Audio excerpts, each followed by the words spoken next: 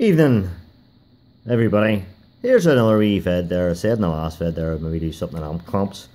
I have a number of amp clamps here. These are two Uni T. These are great wee clamps here. Uh, you know that there with 25 pound or something like that. This one here goes up to 400 amps, 40 amps DC, 400 amps DC and AC. So you need to select uh, DC and AC there. So for using it in cars, uh, obviously we're going for the DC. If you buy an ordinary uh, clamp meter, uh, most clamp meters only do AC. Uh, but these wee ones you have to you have to watch it. You get one that does DC. Now a clamp can't really read DC. Uh, you know, so uh, what it's actually doing is there's a wee coil, there's a wee pickup in there, and uh, what it's actually doing is it's just a CT, a current transformer, and uh, what it's doing, it's uh, picking up the magnetic flux of the uh, current going through the conductor. In this case, it's the negative uh, battery cable. So what's happening is that that's actually doing a conversion from voltage. It's actually reading voltage, but it's there's a microprocessor that's converting that to current. And here's another wee one. Listen here, I find this wee boyo here really handy because you can zero it and uh, it reads down to 2 amps there, 2 amp scale and a 20 amp scale, so 20 amp maximum. Now what I've, what I've got going on here is we're reading 15.75 and that one. This larger ranging clamp is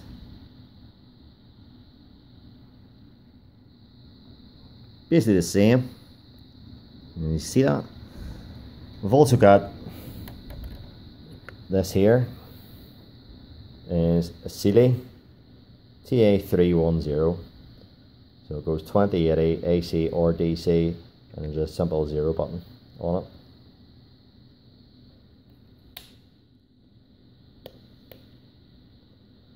So they all work the same, uh, same sort of thing. They actually measure uh, voltage. Well, it's, uh, it's actually a VT then, it's a voltage transformer, but it converts it to current because you need an alternating flux for a transformer to work. That's why all our, our power systems, uh, we use ACs so we can step it up and step it down. So the sine wave goes up and down. That reverses the uh, the magnetic field, and then that is uh, goes over to the other set the other set of windings. So you have a set of windings on this side, set of windings on that side, and there's usually a ferrite core in the middle. There's no electrical connection between the two. That's why we use earthing transformers, isolation transformers, so because there's no electrical connection between the primary side and the secondary side. So that wee, be, that wee tiny bit of theory out of the way. Uh, what we'll have, we've got a couple of scopes here. This is a Vantage Pro. That's connected to that's connected straight to this wee Sealy boil. Now this Vantage Pro it actually does a bit of work for you because it measures 20 amps. So we'll just come out of that a wee second. So I'm on low amps 20 there and uh, it's reading 16.25 amps on the Vantage. Now it might have peak detect on it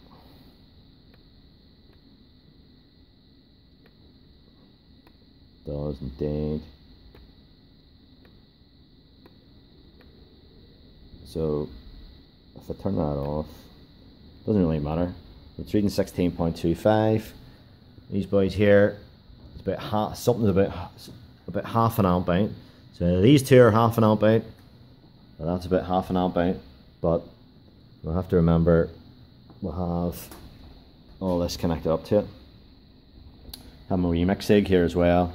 Uh, it's not connected to anything at the minute, but it's set up See if we can focus there. No, not going to. Too much glare in the garage here on the, under the fluorescence. So, what I was gonna, what I did find out with this, uh, find a wee bit, wee bit interesting. This is the 600 amp clamp that I was using for the relative compression testing. Uh, now, these things have a polarity. So you see that arrow on it there? It's plus, uh, goes that way there. So when you put it on to start the, your, this is my starter motor cable, which is quite handy because the two of them are sort of separate. This goes straight to the starter motor. So you put that on there and the plus facing away from you. Now, this arrow indicates conventional theory current flow, which is actually incorrect. It's actually wrong. So it's conventional current flow. That's one of the first things I learned uh, when I was doing electrical theory. Conventional conventional current flow is incorrect, but all electrical diagrams they've just adopted it and it's never changed. So the conventional theory says that current flows from plus through the load to the minus, but electrons are negatively charged. So in reality, it doesn't. It goes from the negative to the positive. So the negative charge electron wants to go to the positive. It actually goes that way. But all electrical diagrams and clamps show uh, conventional theory current. It doesn't actually do that in reality. So uh, Mr. Alessandro Volta, who invented the the battery basically, uh, he's the, they assumed at that stage that uh, it went from plus to minus or positive to negative, and uh, it just seemed to stick. And uh, electrical drawings, and everybody uses conventional theory, but uh, conventional theory current, but actual current flows the other way around. Now, the only thing I noticed is if anybody buys, I'll just take these off. There's too many of them. So we'll just turn that off for, for the minute. Put that to the side. I'll just incidentally, I'm getting 15 amps here because I'm sitting here with the headlights on, ignition on, headlight on, and I have a battery maintainer, uh, keeping it at 13 and a half volts there. Still on a right wee bit of current then. Still on 17 amps in the battery there, but uh, with the ignition on and the lights on. So we'll not labour this too long. What I did notice was on this uh, Sealy current clamp is there is actually an arrow on up here. Pointing that way. But if I had it on the way that that arrow would suggest so in other words from the plus going around to the minus so that arrow should be pointing this way. And if I put that on that way there it goes negative. Now there is a wee thing you can do with this Vantage Pro. Uh, if you go out of there and go into the lab scope.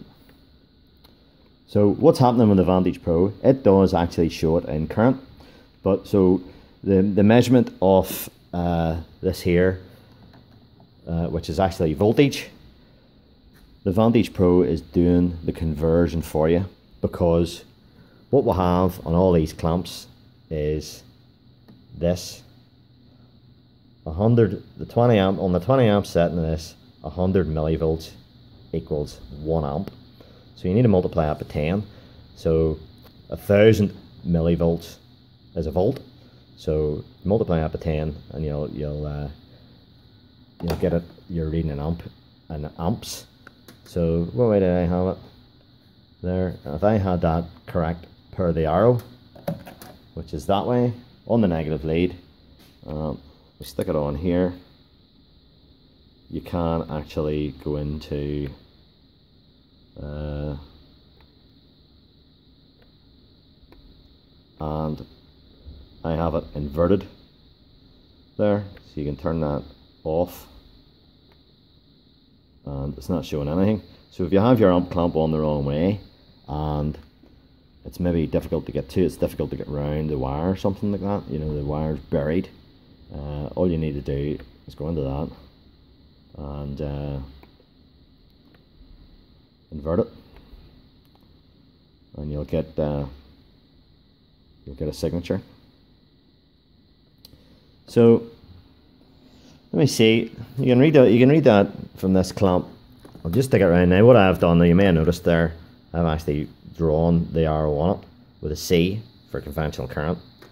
So which is going the opposite direction from the arrow that's on the that's that's written on the clamp. So conventional current then is flowing back into the battery from the positive to the negative. So it's that direction there. So we'll put that on there. We'll put a put a voltmeter on just ordinary volts there. That one there will auto range for us. And uh, stick our leads in.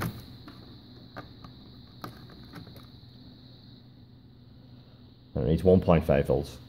So because that is 100 millivolts per amp multiply it by 10 we'll get 15.35 again a wee bit lower than that other one was showing. Now this Micsig then let's see what it's uh, saying. So we'll connect it. In to these leads. There's the one-handed operation again. So let's see if we can get that. Just bear with me guys. And gals. Right so there we go. That's set into the oscilloscope. And we're getting a reading there. RMS 15.4 amps. Now you may think that RMS root mean square is something that's used in AC now normally that is the case which is mathematically it's 0.707 and it's designed for find out the uh, 0.707 so it's it's not the mean or the average, but it's the, the square root of the mean and then squared again. So uh, that's what that is. So your 240 volts in your house is an RMS value. Your peak uh, of your AC is maybe about 280 volts. It peaks at. So the 240 volts that you're reading on the meter, on your voltmeter, uh, all these voltmeters here are will show true RMS because a lot of them uh, would probably say that on them that it's a true RMS uh, voltmeter of course this one doesn't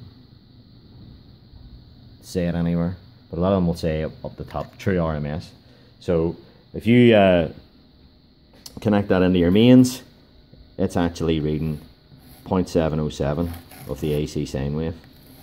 So your voltage in your mains is really about 280 you can work it out now, what's happening here, I'm taking that much of a sample rate here that I'm, I'm having to get this oscilloscope to tell me what the RMS value of all these up and down, minute up and down uh, currents are.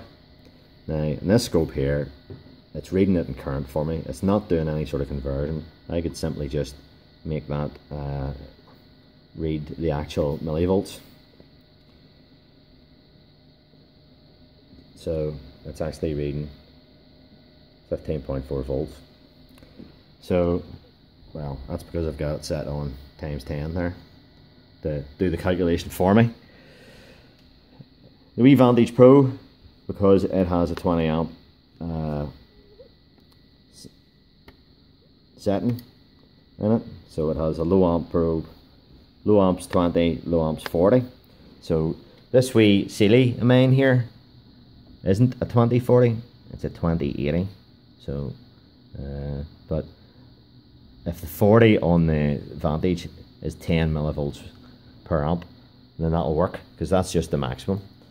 So anyway, there's a, I don't know why you find that interesting or not. There's a, a, number of different clamps.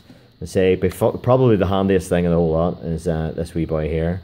You can uh, stick it around a wire, turn it on, two seconds with that wee scroll wheel and uh, as I say it measures 2 amps. The thing, the other thing too on this one here, which this one this one doesn't seem to have, is uh, a zero button. This one here has a zero button, so you need to uh, zero it before you put it on. Uh, they also say you should give it a couple of clicks as well and hit the zero button. And the reason for that, it only uh, the reason for that is uh, it actually picks up the, the magnetic field off the Earth. So if I turn that on, and any other magnetic field that's around it as well, but uh, also off the Earth. So if I put that on the amps, I need to uh, set true RMS there, AC. Uh, so we need to select DC. It's reading 0.35 of an amp, just uh, in free air. So I have to zero it to calibrate it, uh, the accurate, to make the reading sort of accurate. So there we go. And it's out of limits because we're pulling 15 amps. We'll just put that on, on there, on there, on there. So our polarity thing, there's the plus and the wee arrow on this. So if I put that on the negative lead in this this way, it's reading fine, DC. But if I turn that, flip that around,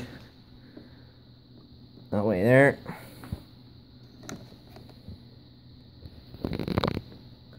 there's a wee negative saying there, comes up. So if the wee negative saying there, you know you've got it on the wrong way around. So it's just a case of flipping it over. But anyway, uh,